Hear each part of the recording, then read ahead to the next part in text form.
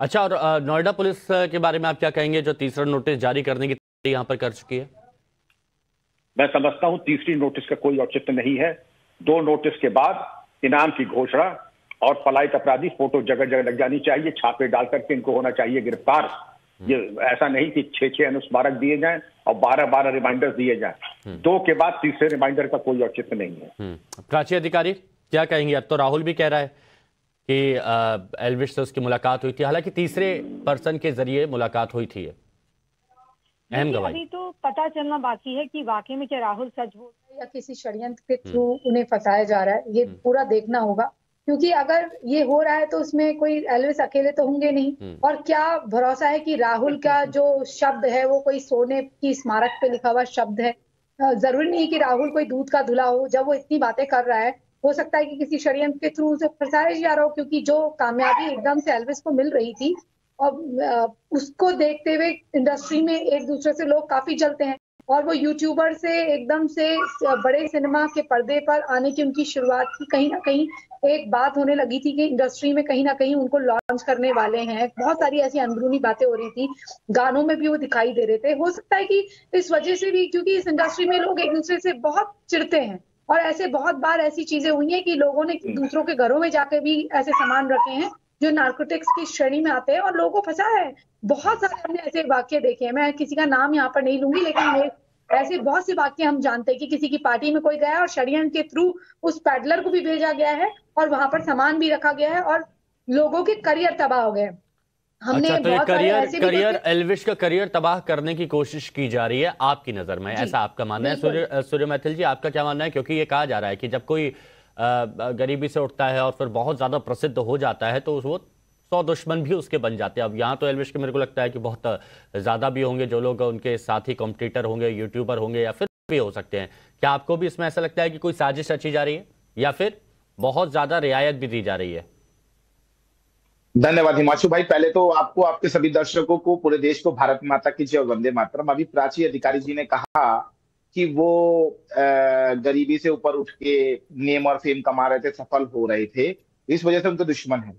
मैं आपसे सहमत हूँ कि ऐसा होता है। हम्म। लेकिन प्राची जी आपको मैं याद दिलाना चाहता हूँ कि भारत को ओलंपिक मेडल दिलवाने वाले सुशील कुमार को जब सफलताएँ हाथ लगी थी तो उनका दिमाग सर चढ़ गया। और उसके बाद उन्होंने एक अपराध किया एक हत्या की जिसके कारण वो आज जेल में है।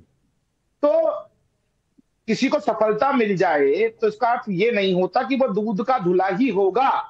आप ये मानिए आपने कहा कि ये ड्रग सुन लीजिए। मैं आपके बीच में नहीं बोला प्राची जी सुन लीजिए। पहले शांति सुन वो आपने कहा कि। बहुत सारे सिस्टम देखे गए ड्रग पैडलर जो है वो कैरियर खत्म कर देते हैं। अरे सुन लिया करो प्राची जी इतना बौखलाहट अच्छी नहीं होती भाई। सुनो आप एक राष्ट्रीय चैनल पर बैठी हुई हो समझने की कोशिश करो। आप यहाँ पर आपको इलाज की ज़रूरत है पुलिस मेरे ने भाई आपको रिकवरी इलाज की है थी मैंने जो कहा वो ज़बरदस्ती चार बार उन्होंने घात लगाई से। सूर्या जी सूर्या जी सूर्या जी एक मिनट एक मिनट सुनिए। सूर्या जी सुनिए सुनिए सुनिए एक बात सुनिए। देखिए बहुत अच्छा लगेगा अगर शांति से बात करें। देखिए हमारे साथ में इतने बड़े बड़े लोग सभी लोग जुड़े हुए हैं। अवधेश जी भी हमारे साथ में विक्रम जी भी हैं आप भी हैं प्राची भी हैं। मैं यही तो आराम से ना। बीच में नहीं बोला। प्राची का ये कहना है प्राची का ये कहना है कि उन्होंने ये नहीं कहा है कि जैसा कि आप कह रहे हैं सीधे उनका नाम लेकर। ऐसा हो रहा है वो ये कह रही है। आप अपनी बात रखिए लेकिन। देखिए देखिए हिमांशु जी। मैंने क्या कहा कानून से पढ़कर बढ़कर कोई है? क्या कानून से बढ़कर कोई आप सुन लीजिए ना। हाँ, सुनिए। हाँ। प्राची जी आपको जानकारी होनी ना। चाहिए इस विषय आरोप की। मत लगाइए। इस विषय की आपको जानकारी होनी चाहिए कि नोएडा पुलिस तो लगातार इस विषय को एक- एक करके बोल लीजिए। हाँ, शोध हाँ। करता है सुन लीजिए। हूँ जानती अरे आप हूँ बीच में बोल जा रही है, करती सुनने की हूँ भी हिम्मत रखिए प्राची जी। यहाँ राग सुनने की उसके लिए भी हिम्मत काम करती रखिए। हर चीज़ के लिए काम करती हूँ सामाजिक कार्यकर्ता भी हूँ प्राची जी तो प्राची जी प्राची जी थोड़ा सा प्राची जी थोड़ा सा रुकिए और आप भी आप भी सूर्या जी अपनी बात रखिए हाँ जी देखिए तो मैं ये बताना चाहता हूँ मेरी बहन को कि मेरी बहन ये जो रिकवरी हुई थी ना। नौ सांपों की, जिसमें से पाँच कोबरा थे। इसके लिए नोएडा पुलिस बहुत दिनों से घात लगाई हुई थी, बहुत दिनों से अभियान चला रखा था। और एक जिसे कहते हैं, झूठी झूठी खरीदी के नाम पर इन लोगों को बुलाया गया और इनको रिकवर किया गया, जिस बैंकट हॉल के सामने से। तो आप ये मत कहिए कि ड्रग पैडलर्स की तरह यहाँ पे भी कुछ दूसरा कैसे नोएडा पुलिस के ऊपर एक बहुत बड़ा क्वेश्चन मार्क नहीं नहीं, सूर्या जी सूर्या जी सूर्या जी सूर्या जी। एक एक एक वाजिब सा सवाल है प्राची का एक वाजिब सा सवाल है। तो एल्विश कैसे इन्वॉल्व हुआ इसमें? मैं वही बता खाली नाम लेने से मैं आपका नाम ले दूँ मैं प्रधानमंत्री प्राची प्राची एक मिनट आपका सवाल आपका सवाल देखिए मैंने पहुँचा दिया ना प्राची अब जवाब दे जी लेते जी हाँ। धन्यवाद।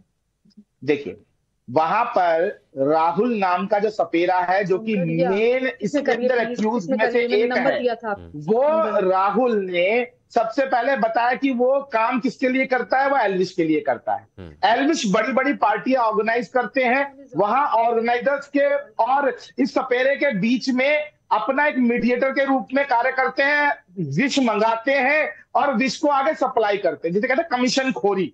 तो अब ये जो विष कमीशन खोले का यदि वो काम करते हैं अगर कोई भी अपराधी किसी दूसरे व्यक्ति का नाम लेता है तो ये पुलिस विवेचना का एक पार्ट हो जाता है कि क्या उसका संबंध है कि नहीं है। और मेरी बहन आप ये कह रही है ना कि एल्विस कैसे इस अपराधी बन गया तो अभी पुलिस ने अपराधी माना कहा?